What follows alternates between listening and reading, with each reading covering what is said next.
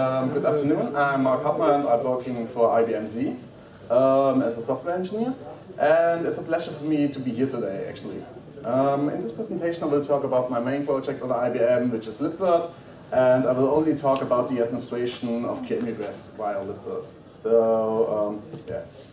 Uh, we at IBM Z, we have really large systems with up to 30 terabytes of RAM uh, with the new Z14 for the entire system and up to 16 terabyte per partition. So this allows us to have many guests started in parallel, for example, for test-driven development or regression testing and so on.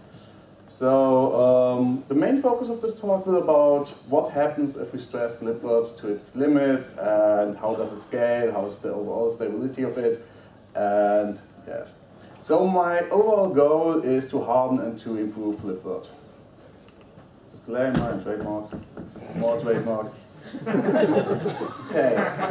Um, yeah, it all started with a performance bug that I got actually assigned. Um, what was reported was that during a start and destroy uh, operation, the libvirt gets stuck for about uh, 30 seconds. And this can happen only sometimes, not that often, but it can happen. So uh, get stuck means in this context that no uh, new RPC calls, so remote procedure calls were accepted, or any new connections could be established, and these things. So the whole main loop of the libvirt gets stuck. Um, and during the investigation, it turned out that one can experience other issues um, when libvirt is pushed to its limits. So that was the reason uh, for creating this presentation, and now let's get back to the agenda of this talk. So in the first chapter, I will talk about the use test setup, the use test environment, and the test scenarios I've used to try to reproduce the bug. Then I will come to the uh, occurred uh, stability issues, and then in the third chapter, I will uh, give some uh, performance. Uh, I will talk about some performance issues uh, that were occurred and at the end, I will give a brief uh, summary and an outlook where else one could investigate. Uh, I will use um, guest, VM, and domains in this talk synonymously. So now we will come to the use test setup. Uh, I've, I've, used 64 uh, shared uh, cores. Um, actually, I've used a Z14 for that. You can see on the right side um, image of such a Z14 box then I've used 4 terabyte of RAM. I've used as distribution Fedora 28, SE Linux enforced. Um, I have used a self-built libvirt. Uh, it's pretty new. Then I've used uh, for the 19 kernel RC, RC version. And for the QEMU, I've used 3.0. For the used guest, I have used the following definition. On the right side, you cannot read it, uh, I think. Um, that's the Jinja template I've used for my test, uh, test script I've written. And actually, the fact about this guest is it had, it's used direct kernel boot, so I'm using the host kernel as guest kernel, and in combination with a minimal initial RAM disk that we, that we have built, and actually it's using BusyBox for that. And it has only one vCPU, it has only 100 megabyte of RAM, and it has an SLP console attached, and we can attach SCSI disks for that domain.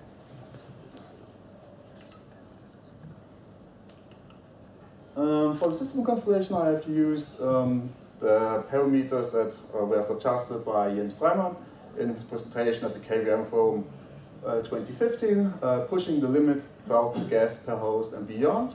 Um, actually, I've just increased the maximum number of uh, processors the host can support can have the maximum number of threads the host can have, then I have increased the maximum number of PTYs the host can have, and I have increased the maximum uh, open files for the host, and the inode files, and the limits for the libvirt for it. So, um, I've used the following libvirt configuration, so I've used the defaults, except that I've increased the maximum number of anonymous clients, the ma uh, maximum number of client requests, then I've increased the maximum number of workers, because I have many cores, uh, up to, uh, I have used 64 in this case, and I have increased the number of priority workers for that. Um, I'm using the uh, default QEMU provided by libvirt, by libvirt uh, except that I have increased the maximum number of processes because I have also tried to create 2 to the power of uh, 14 guests in total, just because we can do it, do that. so that's a reason for that number. The other numbers are just big enough so I can create these guests. Um, they are no exact signs or something like that behind them. They are just big enough.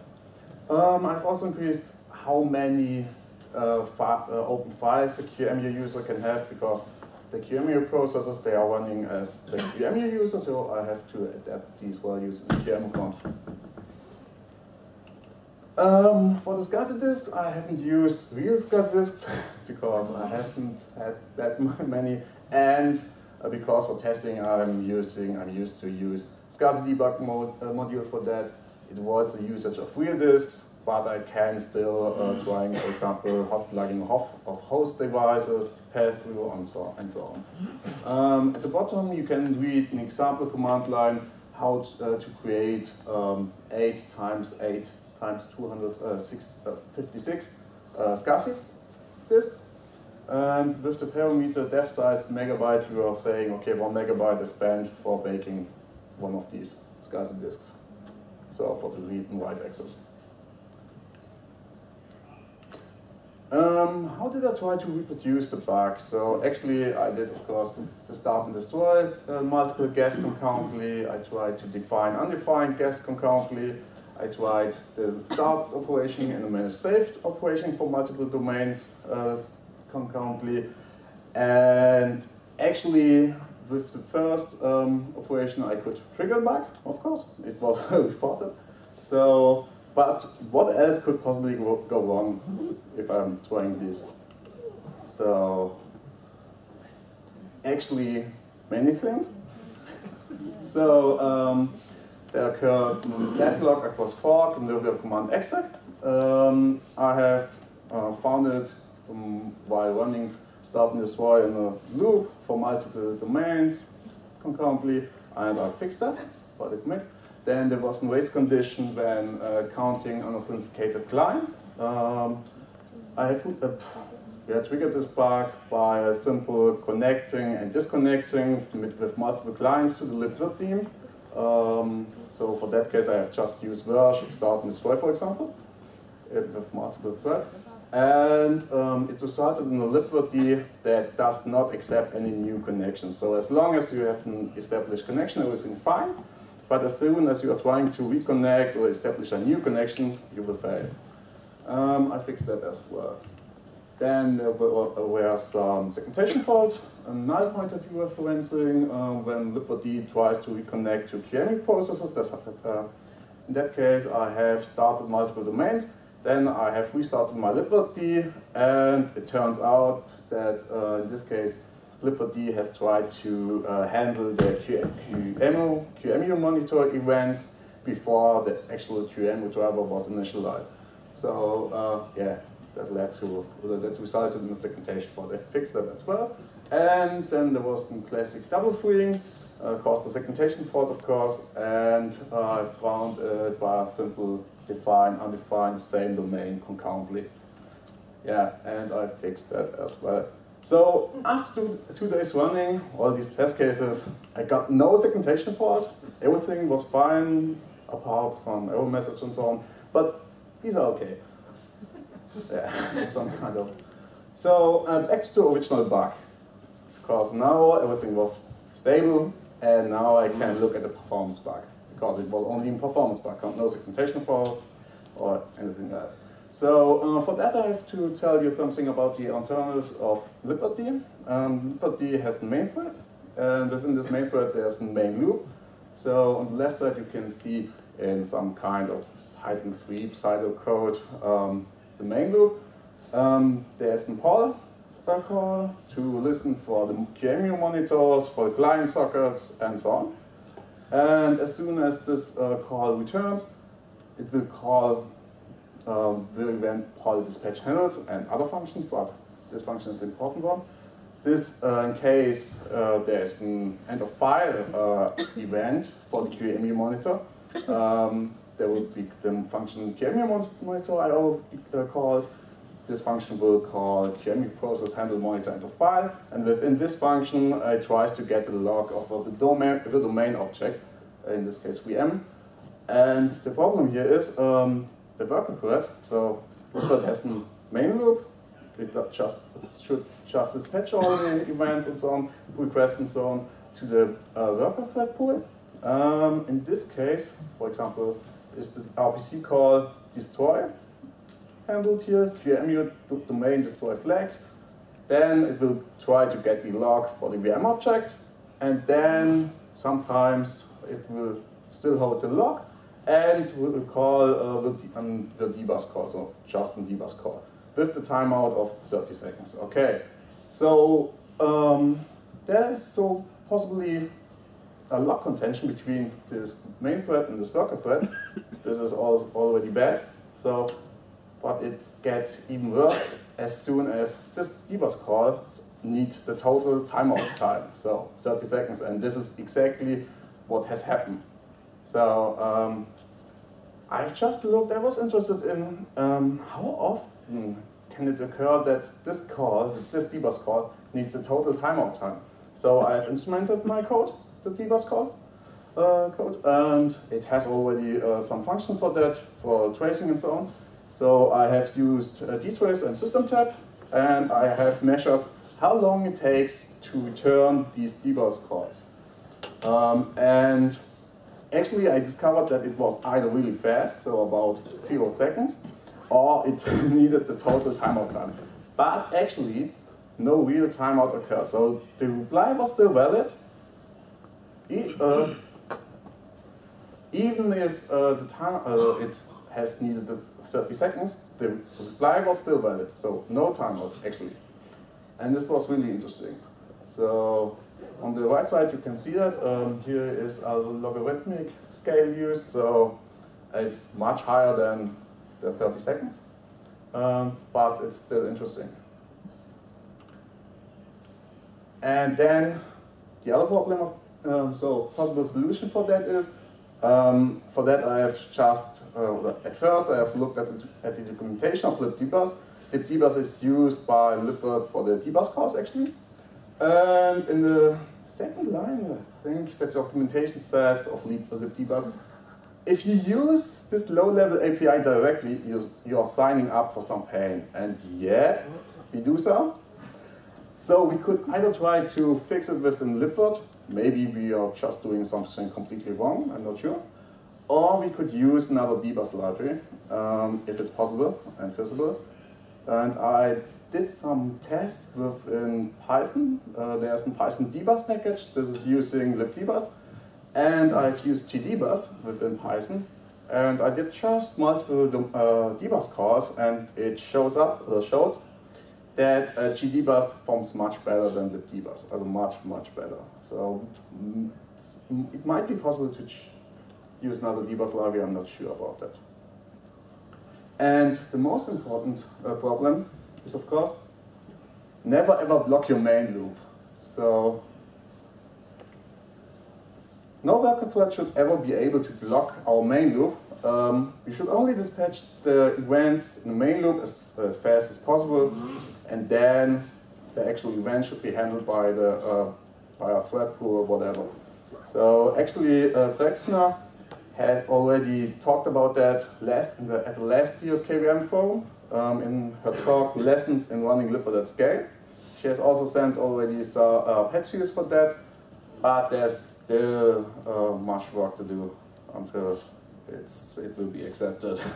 so there were some segmentations fault within it and so on. I have already fixed that at least, but there are still some problems. Um, yeah. So more on performance because I've tried that, I got some feeling, okay, sometimes it's some kind of slow if I'm using libvirt. So um, yeah, therefore I, I try to get some kind of feeling how fast can we go. Therefore, I have created a comparison between a direct command line boot of QEMU versus libvirt.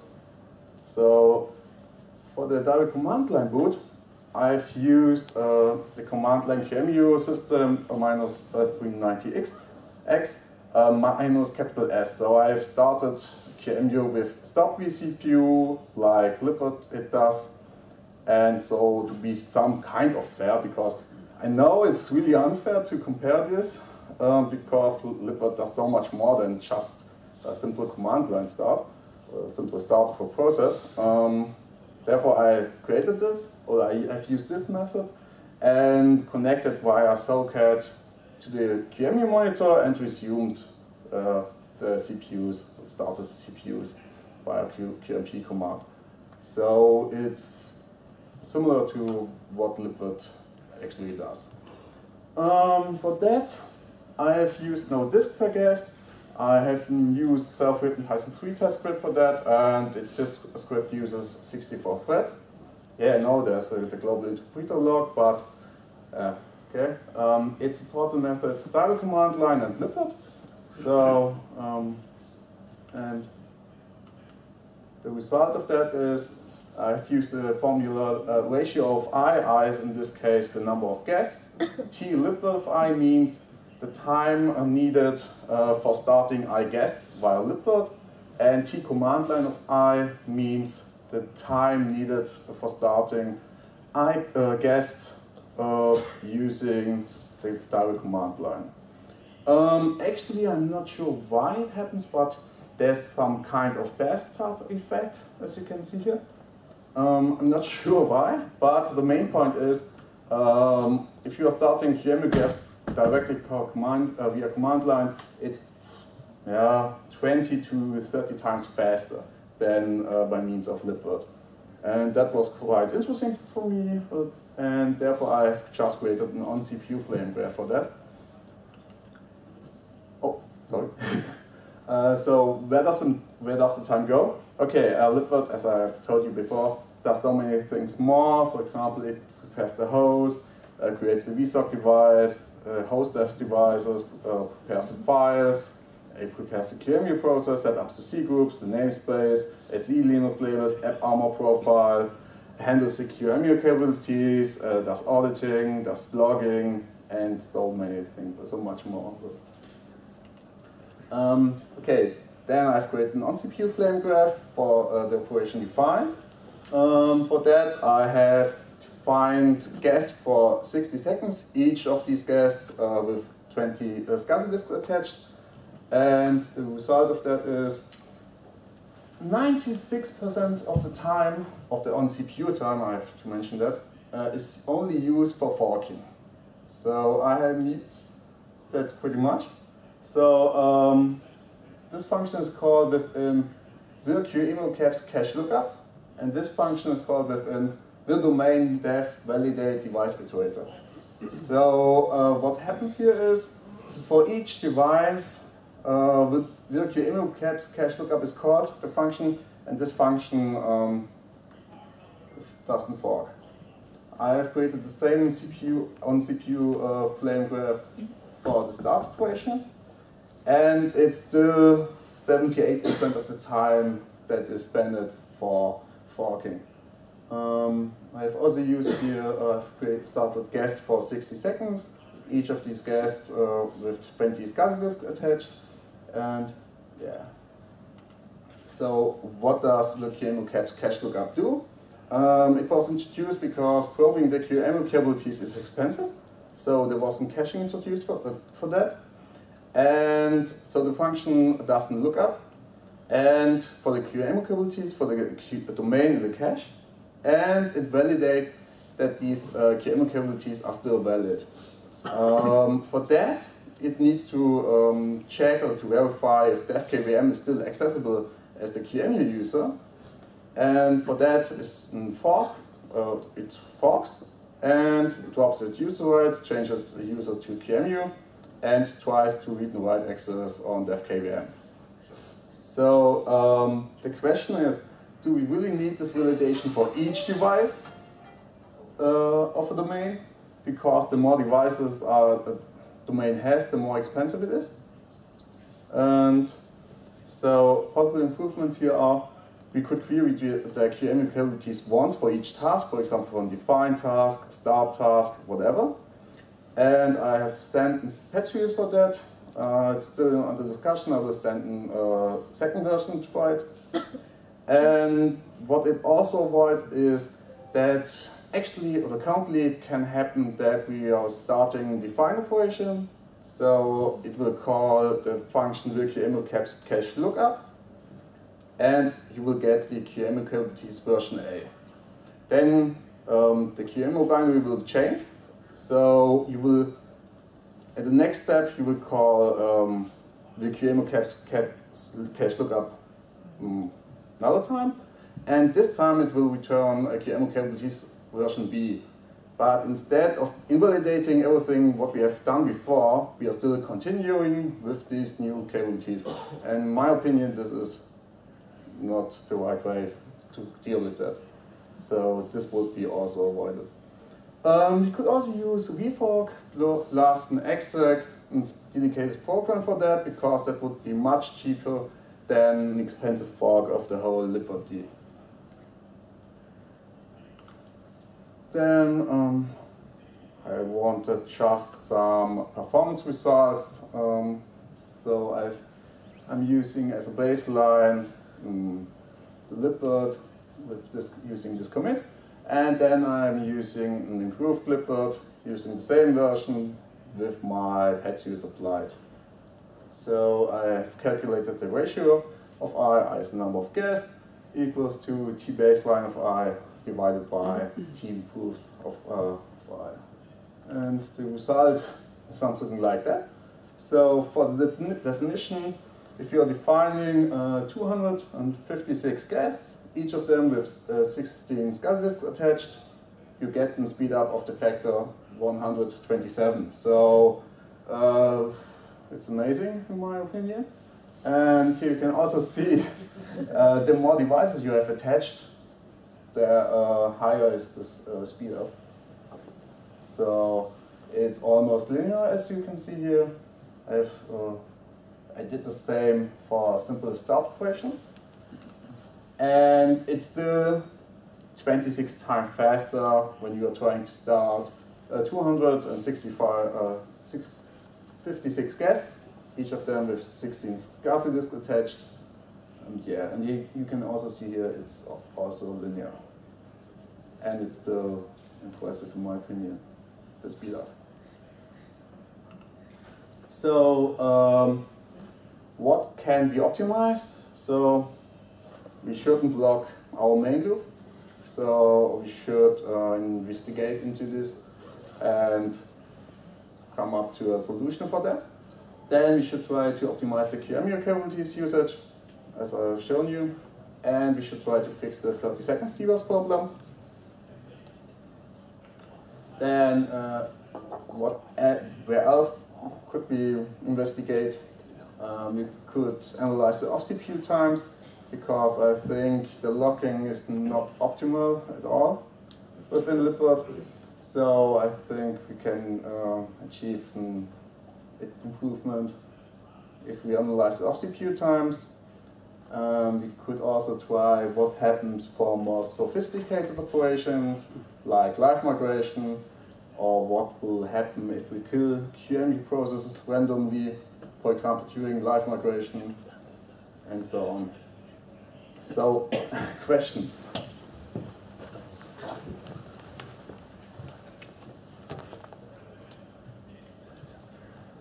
Yes? Wait. Is the original bug found already fixed? No, unfortunately, unfortunately not, no. Another question? Could you, could you go back and repeat the question? Just.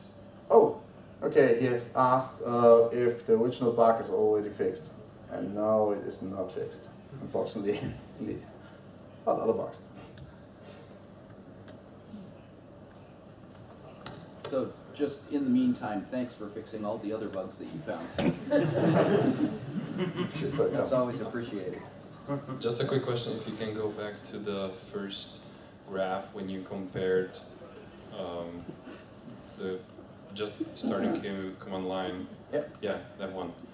So that's just a simple um, simple gas with no devices, no disks, nothing Exactly. mentioned, right? I can show you the, uh, the UseQMU command line for that. This command, yeah, this QEMU command line I've used for that. So it has an SLP console, um, it has an QMP as a QEMU monitor, and it uses the command Yeah, line okay. and stop the CPUs. Thank you, I just missed that. Okay.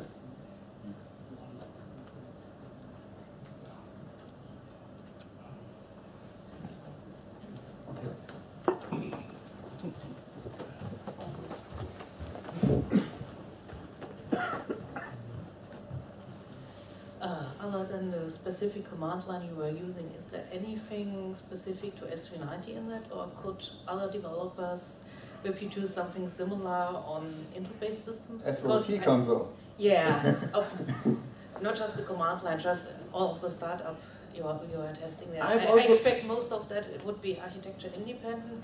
But Yeah. could there be anything which would be different on other architectures? Um, yeah, the, uh, the controllers that were used for the SCSI disks. So Libvirt will create uh, SCSI controllers for that, and that depends on the ar- architecture. But I have tried that uh, uh, on x86 as well, and there's also an imp- uh, improve as a speed up, similar to S390.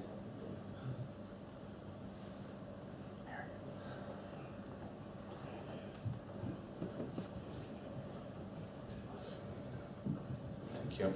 So I asked before because I was pretty sure I'm affected by the same bug with a bit different source. Hmm. So to give you some priority, it's not only a rare debug issue. If you pass through plenty of PCI GPUs, Okay. you will hit it. Hmm. So if anybody's planning passing through more than like 30 GPUs, you will be blocked by the same thing. So it's more important than random debug issues. Yeah. I'll get in touch with you because yeah, we The Should work that together. is we should never ever block our main loop. Yeah. So on your page 17, I think, yeah, yeah. From QEMU process stop, I can show you another plus 30 second. Exactly. So all of these uh, QEMU monitor events will be trying to get the log. So not only a monitor and a file Yeah. event. So that's a problem.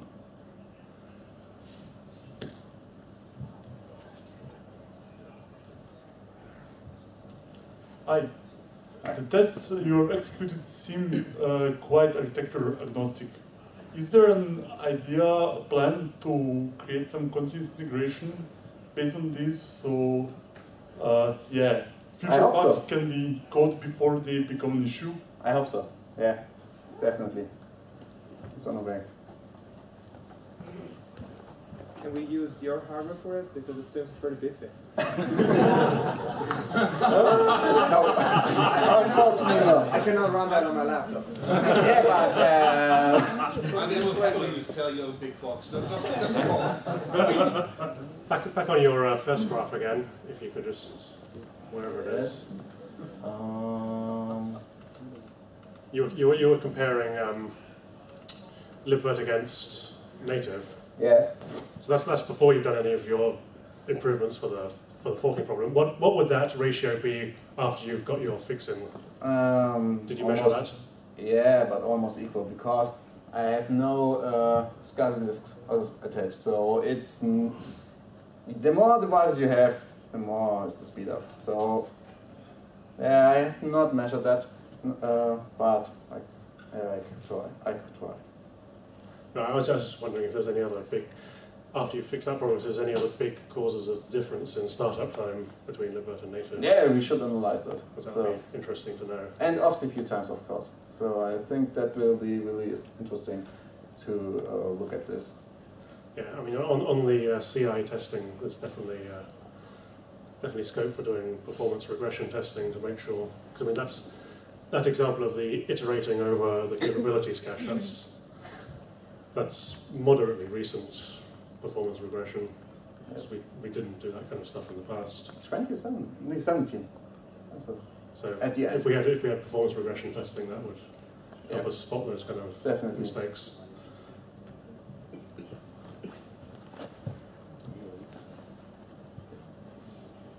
So, any questions? We have time. So, the thirty second dbus thing, Yeah. did you find anybody mentioning uh, something like that There are with many- someone else using dbus for some other reason? There are many bug reports uh, for the dbus if you're looking at the website. So, um, and I'm not sure if it's the maintainer, but someone is saying, just use another library. But this one, this one, So I'm not. this this particular bug though isn't anything to do with lib. It's not libdbus's fault. I mean, what happens is we we register libdbus needs an event loop Yes. to, to get its replies, Yeah. and we register ourselves as the event loop for dbus. So it's sitting there waiting for a reply, and because our main loop is blocked, we never get a we never give the reply to dbus. I'm not sure about that because I have used a second event loop just for dbus and it still occurred. But I'm not sure about that. There could I- be two different We should look at two it. different issues there. Yeah.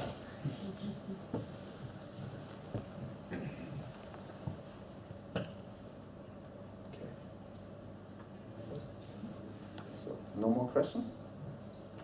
Then, thanks for your attention.